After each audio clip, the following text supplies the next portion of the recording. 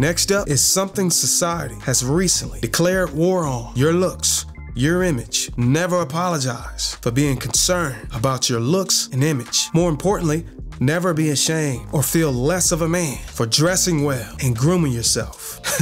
Years ago, I posted a video of me sitting in a chair getting a pedicure, and then men went to the comments and began calling me feminine and soft. Every man should look at themselves as a walking advertisement. Impression is important. How you carry yourself and dress says a lot about your character and introduces you to a variety of networks and opportunities in life. There are levels to image, and at each level, you have different privileges and options to choose from. Society wants that concept to be broken. A group of people are constantly working to place everyone on the same level, no matter how hard others work to differentiate themselves in order to achieve better outcomes. The agenda is that no matter how you look or how you carry yourself, you should be treated just like everyone else. Although this seems fair, and rational and removes discrimination. It also removes individual preferences, rewards for higher achievements, and forces people to accept mediocre behaviors and unhealthy body standards.